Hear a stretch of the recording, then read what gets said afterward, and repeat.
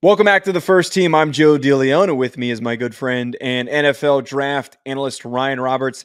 Today we're doing our second to last position group show. And as I said on the running back show, I don't look forward to this conversation. I, I don't like the safety class. The safety class is barf. It is gross. They're just there's like four guys that I think that we could sit here and have a conversation about, maybe five. And then the rest, it's slamming your head against a wall. Is that do you get the same feeling, Ryan? Uh, I mean, of like high end players, yeah. I mean, like high end is is in plus starters. I think I, I, I think I agree with that take. I would say this though. I think there are a lot of departmentalized safeties in this class Mhm. that I think could have an impact in a specialized role. But yeah, if we're talking about high end as far as plus starters in the NFL during the course our first two years of an ascension, then yeah, I think I mostly agree with your take. Mostly agree. Also, on that note, I've got one guy who's probably more of a slot corner, and I, you know, we considered we we ranked Brian Branch last year as a as a safety, and obviously, I'm talking about Javon Bullard from Georgia. He, like he's a guy who it's a weird conversation, but he has to be on here because he's one of the top safeties. If you consider him Yeah, a safety, Well, yeah, I mean, there's a couple of those guys. I mean, I, I- again, like, no, no, where am I gonna? I'm not gonna let the cat out of the bag with the place on my list, but like, imagine Bullard. I mean, technically, Sione Vaki out of Utah's in that conversation as well. I mean, even Cole Bishop Mm. played a lot of overhang, right? So I wouldn't even consider him a true, true safety. But yeah, those overhang slot defenders, they have to be included in this conversation unless you think that they can play outside corner a little bit, right? Which obviously in this list, that's not the case for these guys. They're going to be more of those rotational safety nickel hybrid type of players in this type of list. All right, starting us off with my 10 through 6. Number 10 for me, Ryan, Sione Vaki from Utah. Number Okay. 9 is Calen Bullock from USC.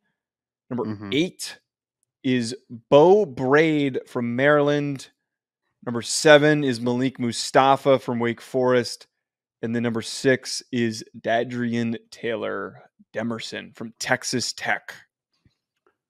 My my ten through six is that what Yeah, we're doing 10 now? through- is that yeah, what we're going? Okay, man. yes. All right. I'm just We've sorry, done the drill. We've follow-up done the drill 10 Yeah, I- times. I thought we do follow up questions. Okay. Number 10 for me, Calen Bullock, USC, terrible tackler, Mm. very good athlete. We can figure that one out later. What do you do Number with nine. them? Yeah, exactly. Yeah. Number nine, Dadrion Taylor Demerson, Texas Tech. Number eight, I believe it's actually pronounced Malik Mustafa out of Wake Forest. Do you remember when we had Caleb Oh, that's Carson right. and he said yeah, Malik? Kalen. Yeah. Yeah, yeah, you're correct.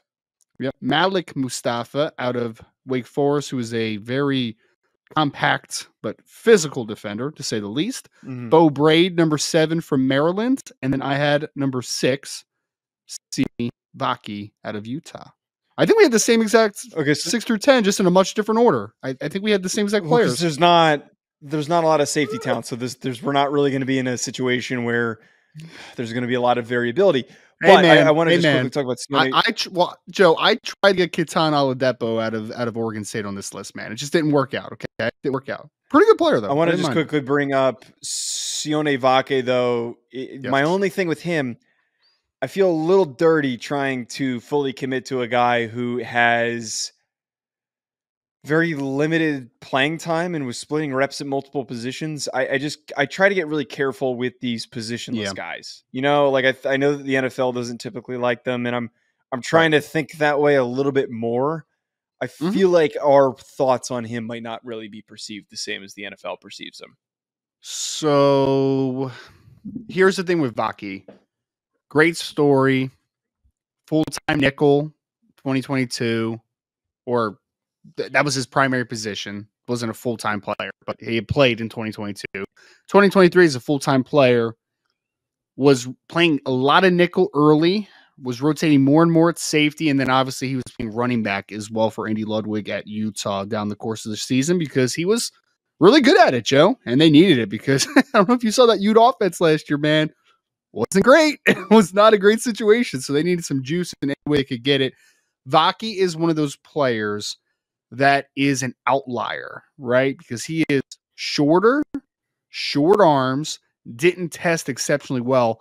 But I'm still going to bet on him on the NFL level to figure it out because no matter what position he asked him to play at Utah, he excelled, right?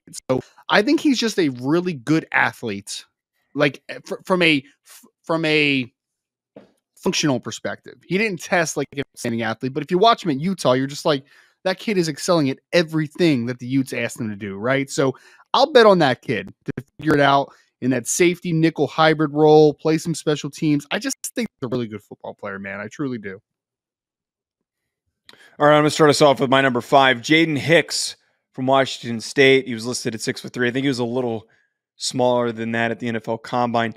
He yep. is the type of guy that you're looking for for a box safety that is going to be uh, a tight end coverage player that is going to be able to potentially erase some tight ends that maybe aren't as athletic. Uh, but he is uh, uh, just for his size profile, a really strong athlete. I don't think he's like an elite athlete. It doesn't really necessarily always show up on film. I think there's some mm-hmm. stiffness certainly to his his mobility.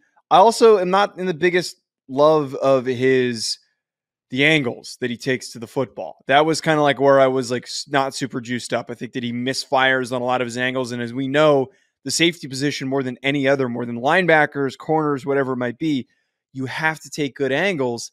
Otherwise, you're not going to be productive and you're also going to give up some pretty big gains. So, Jaden Hicks, for me, I like him for what he is. I think that there's a ceiling there if you can work on his his awareness, his vision. Uh, the, the size profile is something you can't coach, but certainly some physical limitations because of how big he is. Jaden Hicks made my list, Joe. Do you want to guess where he is on my list as I give you some context two. on him? Number two, baby. Two? I love Jaden oh Hicks, brother. That's my guy, man. Joe. Oh man. I don't fully disagree with all of what you said. Okay. I do think he's a little bit high legged, a little bit stiff, but I'm not going to ask him to play from depth a ton. This is a true cover three, strong safety, short zone killer that plays a tenacious style, and he is the best hitter of any player in this class on the safety position. I think he's a better athlete than maybe we're going to give him credit for, at least in tight spaces, explosiveness. I mean, ran 449 at his pro day. He had some good explosive numbers. I think this kid is just scratching the surface. He came out as a third year player. He was a redshirt sophomore this year for Washington State. Incredibly productive the last two years. Really good instinctual instinctual football player, excuse me. So no, I'm not going to play him as a single high free safety. I'm not going to ask him to make a ton of plays from depth and cover three in the middle of the field. Like that's never going to be his role. But in a Cam Chancellor vein, and again, I'm not saying he's Cam Chancellor, but in that type of style, I think this kid could be a plus pretty strong safety in the NFL. I think that he could be a kind of a heartbeat of a defense a little bit. I'm in on Jaden Hicks, man. There's something to that kid, and I am buying into that instinctual hitter and intimidator. Give me some Jaden Hicks love, baby. BetOnline remains your top spot for all of your live betting action and contests. NFL, college football, UFC, NHL are all in full swing. BetOnline is your number one source for wagering news, odds, trends, and predictions with both desktop and mobile access at any time. Head to BetOnline today and use promo code BELIEVE. That's B L E A V for 50% off your first deposit. That is a 50% welcome bonus. Bet online where the game starts. Yeah, I'm not surprised that you're in love with the what? enormous safety. That doesn't I mean that doesn't Dude, shock me. I mean we we knew That's your that's your brand, dude. You always go for no, like no, the big, no, no, meaty guys and stuff. Not for safeties. Not not All for right. safeties. It doesn't it doesn't surprise me that you like him. Number four okay. though is my brand, Cole Bishop wait, from Utah. I can't, I can't, do number five oh, wait, first. Thought, oh, I'm sorry. I'm sorry. I'm sorry. Who's your number five? You idiot. Off, uh, you idiot, man. You it's been idiot. a long day. I started working at six a.m. Number five. Well, now I know who your now I know your number four is, which is pretty hilarious because it might actually be my number four as well. Number five, Tyler Nubin from Minnesota is number five oh. for me. Joe, I'm so lukewarm on Tyler Nubin. So lukewarm, man. I get the I get the love, right? I get it. He plays a lot more from depth than what I was just with Jaden Hicks. He's a true cover two, cover four heavy, interchangeable safety that can play from depth and has really good eyes, really good anticipation, and really good ball skills. All those things are true. I think his range is very overrated. I think it's solid range. I don't think it's tremendous Mhm. range. I don't think he's ever going to be a middle of the field true free safety. I think that he has really good eyes though, and he's proactive and he's always in the right spot. Okay, his tackling is good sometimes, and then other times his angles are pretty poor. And also, he missed tackles, especially off the 2022 film. 2023 was a little bit better in that department, but it's still it's still there, man. It's still there. So I actually think that this kid is one of the safer safeties in this class. Like I think that his floor is relatively high. I think that he will be a starting safety in the NFL at some point in his career. I'm not certain though, out of my top five, that and it's why he is number five, that he's going to be a plus starter. I, I just don't know if I see that, man. I see a starting safety who has some ball skills, that's played a lot of football, that's usually in the right spots. That's great. But the missed tackles, and I would call him just a solid athlete. I would not call him very good. I would not call him exceptional. Like he is not anywhere in those categories. I just think he does everything pretty well outside of missing some tackles occasionally. So he was my number two. So we we, we flipped here on on Jaden Hicks and Tyler Nubin, and I think you bring up a good point. I think he's very high floor. I, I think that Yep. maybe his outlook isn't Probably the, probably the smartest, right? Like the smartest safety in this class, maybe. I mean, like he's very intelligent. Yeah. that's why I feel a little bit better about him than I did with with Jaden Hicks. I, I thought that his his tackling, his decision making, the instincts, it was very consistent.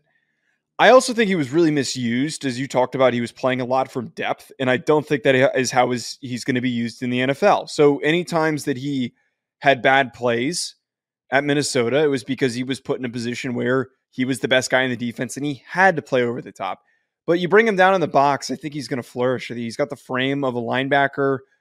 He's got the physicality of a linebacker. I just think it, it- all the boxes get checked for what you're looking for. And I, I know that the the Jamal Adams prototype, and I'm not saying he is Jamal Adams, but like the Jamal Right. Adams prototype is being phased out pretty quickly in the NFL. It seems like that there is less of a love for that type of a position. Hmm. So he might end up getting drafted lower, but you still need this guy on your defense. And I and I would actually argue it's kind of hard to find these big body dudes who can tackle and are relatively mobile. See, I didn't like the tackling as much as you did, but I, I see there's flashes there. You know, he reminds me of Mhm. who was the dang, it's going to bother me. Who was the safety that came out of Virginia a couple years ago that was drafted by the Chiefs? Oh, I know who That- you're talking about, but I'm not and now he's with the. I think he's I think he's with the Browns now, right? Oh my gosh, this, that's actually going to. What's his name? I remember. I obviously evaluated him. My gosh, what is his name? What is his name, Joe? Help me. I'm, Help I'm not going to remember. Brown's depth chart. Brown's depth chart. No, Help me. I'm Juan trying. Thornhill. I'm trying. Juan Thornhill. Yes. You don't need to look it up. It's in my mind. It's in my mind. It was coming eventually, man. Reminds me of Juan Thornhill. Juan Thornhill was pretty good playing the post, but he did it because he was incredibly instinctual and smart. Like he tested really well, unlike unlike Tyler Nubin. Nubin actually did not test overly well, or actually didn't test that well at all, from what I if what I remember. But I think that instinctual nature allows him to play the post, and he's got a decent size profile where he can get better in the run game. I just I was missing it with the physical side consistently. That just wasn't a part that I love. All right, so I, I got too excited a second ago, but I said Cole Bishop is my number four. Now I understand that Cole Bishop doesn't really have the requisite length that we look for in a safety prospect. But what is fantastic about him as a player, talking about instincts, like this is important for safeties. I think he is the quickest decision maker, the most reactive out of any of these guys. I think he's the best tackler. I think he is Yeah. incredibly physical. He was a guy who at, at Utah was asked to do a lot of different things. I know that you don't love overhangs, but I think that he can fit in very nicely as a strong safety in the in the NFL. And more mm-hmm. importantly, this is a special teams superstar. This is a guy who I think is going to be awesome on special teams because he goes a million miles per hour and he hits really freaking hard. It's hard to ignore a guy that is incredibly productive. So I yeah, I have to go with I, I Cole Bishop number four, man. I'm, I've I've been a big fan of him. You gave me shit for being a big fan of him, and here I am him back in the again, summer too. propping I up my boy. No, you Joe, didn't. he's literally No, he's didn't. literally yes, I did. I did top 150 on him in the summer. You idiots! Like I literally had that. He's also number no, four. I was higher on him. I was Yeah, you might have been. the I mean, you might have been slightly higher on him, but don't act like I didn't like him at Mhm. all. Like that's that's slanderous. That's just You- actually you, not told true me you thought he stunk. never said. Uh, yeah. Well, the great thing about podcasting is you can just go back to the tape, right, and listen to what people say. It's a Not great world we live in nowadays. Cole Bishop's number four for me as well. Look, I don't hate. I don't hate overhangs. Overhangs just aren't a thing. They're not real in the NFL. They don't exist Mhm. anymore, right? So the NFL actually is the one that hates overhangs. I just accentuate the fact that they hate overhangs. Okay. Cole Bishop, though, I think has the requisite athleticism and short area explosiveness to not just be an overhang, right? Like he can be a cover three heavy, strong safety that can come down short zone in the box, match up against tight ends occasionally. Like he can do those types of things. He's also in a NFL that is so high on being a sub package based system, right? Playing defensive sub package more than base nowadays. He's the perfect weapon. Like you can play him on the second level from multiple alignments, third and longs. He can be your dime backer. Like he can do a lot of things coming forward, short zone, second level stuff, and he's really good at. And you mentioned the big point is that some of these guys lack a sticking point, right? Like they a real true claw to a roster. I'm like Calen Bullock, who was number 10 for me. I'm worried about him flaming out pretty quick, Joe. I am. Oh, yeah. Special teams? Can he play teams? No, I don't think so, buddy. I don't think so. No. Cole Bishop, though, Cole Bishop's going to last in the NFL and probably be a starter relatively early in his career because he is going to be a premier special teamer. Like, there's no doubt about it. I actually thought at one point when he was at Utah, like, hey man, maybe you just pack on 10, 15 pounds and just linebacker full times. Like he's at he's he, he physical does play enough. like a linebacker. I mean, he's physical enough to do it, man. So I think there's some limitations as far as playing in depth. I think there's some limitations in coverage, but as a mismatch dictator on the second level and a short zone defender, I think that he's got starting upside in the NFL. No doubt about it. All right. Number three, I think we both have Javon Bullard. We both have Javon Bullard. Yep. Okay. So I think that even though he could be classified as a slot corner, I think he's better classified as a slot safety. He's mighty mouse. He's not super big. you know, he's I, he was listed at five foot eleven. I think he was smaller than that at the combine, if I remember. But Yeah. despite his lack of size, does not take away from his aggressiveness. I think that he moves pretty fluidly for his profile. Um, not like an elite athlete, but moves really well. Very easy in coverage. Again, we talked. I mentioned Brian uh, Brian Branch earlier, and it, not Yes. a one to one comparison, but like similar usage because he's really good in coverage. But I, the thing. I liked about him is one, he's great at closing down gaps, and then two, he's really aggressive, not only attacking ball carriers, but also attacking the ball in the air. So I see a guy who could be pretty productive, could be one of those dudes that goes somewhere on day two, and then you're talking about him in a couple of years, and you're like, wow, Javon Bullard's a really important part of this uh, NFC championship defense that you're talking about. he he's he I, I know that I know you hate the draft crush thing, right? As far as like my guys and all that type of stuff, but Mhm. I feel like Bullard's been one of them for me for a while, man. I just he's one of those guys you gravitate towards because one, he plays bigger than his size. Because you're right, he's not the biggest safety of all time, but he really is a physical and assertive run defender. He could play the slots as far as being a that alley defender and being able to come up and make tackles in space, play the screen game. He can work inside. Now in the run game, he's really good. And then he's a plus athlete, man. Like he can move well. He can transition back and be able to play from depth and safety at times. He is a true safety nickel hybrid who can kind of rotate down a ton and play in the slot. I just think, Joe, that he is one of those guys on this list that might have. I said that thought that Tyler Nubin was maybe the highest floor player in this class at safety. I changed my mind. It's Javon Bullard. I Mm. I would be shocked if Javon Bullard's not a solid football player in the NFL. Like absolutely shocked, man. He just does everything well. He might not honestly not be one of those guys that he does everything well to very well. He might not have anything that you would say is elite, elite, but he does also doesn't have a hole where you're just like, yeah, he's he can't do that at the NFL level. Like he can do just about anything that you need him to do on the back of a defense. I would take him in the top 50 picks. I think that he is a tremendous football player, man. Love Javon Bullard. So we both shared our number twos. Your number two was Jaden Hicks. My number two Yes. was uh, Tyler Nubin. Obviously, then means Cam Kinchens from Miami is both of our number one. Now, this is a guy who throughout this process has received a lot of overthink, and I think that it has been exemplified because his testing numbers at the NFL Combine weren't great. I was a little surprised he ran the four sixes, but I didn't necessarily see an athlete on film that was blowing me away. So I wasn't really surprised by the lack of overall good testing numbers. But I am blown away by the ball skills. I think that this yeah. is a true to the name ball hawking safety. I think mm-hmm. you take him in the beginning of the second round. He might not go there, but I would take him at the beginning of the second round, and he could be a tremendously productive interceptor. I mean, we've seen plenty of shit defensive backs be mm-hmm. productive mm-hmm. in the NFL, like Trevon Diggs. There's plenty of guys who aren't that good, but get these big contracts because they put up all these big interception numbers. I'm not saying that Cam Kinchens is bad, but my point is, is he might not be as athletic as you want him to be, but you put him in the right situation, right defense, let him cook over the top, and he's going to find ways to pick off the ball. He could be a seven to 10 interception guy for multiple years in his career. I could totally see that.